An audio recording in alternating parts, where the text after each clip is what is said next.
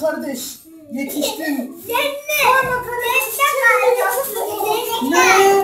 Çelebi balonu yuttu. Aferin Karagöz. Bir şey de doğru anla. Arı soktu arı. Vız vız diye geldi. İğnesine batırdım. Ne? Demek cız cız dedi ninesini yatırdı. Of of. Başka kimse yok mu? Ne bağırıp duruyorsunuz arkadaşlar? Hayırdır bir şey mi oldu? Çelebi darı yutmuş hacı var. Sonra ninesini cız cız deyip yere yatırmış. Ah bak kardeş. Yetiş yetiş. Bizim Çelebi arı soktu. Aa demek arı soktu. Vah vah acımıştır. Ya evet kıvrandı durdu. Kıvrandı durdu.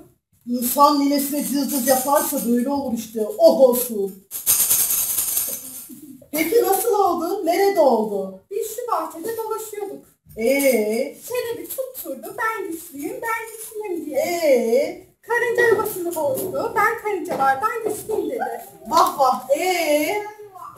Ben kedilerden güçlüyüm dedi. Kedileri kovaladı. Tüh tüh, ee. Sonunda bir arı geldi. Çiçeğe kondu. Of, of, of, ee. Ben arıdan güçlüyüm dedi. Bastonunu vurdu. Bak bak bak, ee. Arı havalandı. Çelebiyi boynundan soktu. Ne? Çelebi arı mı soktu? ee. Kara gözüm, daha yeni mi anladın? Hemen gidip yoğurt sürelim. Olmaz. Olmaz. Hemen gidip arıyı bulup dövelim. Olmaz.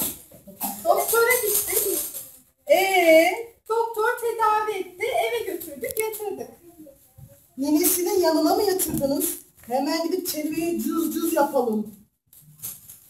Demek ki neymiş efendim? Evet insanlar arılardan güçlüdür.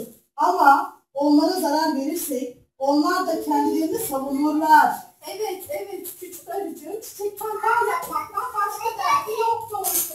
Çiçekten dal olur efendim? İlahi. Dur Karagöz'üm. İzleyenlerimize bu olaydan ne öğrendiğimizi anlatalım.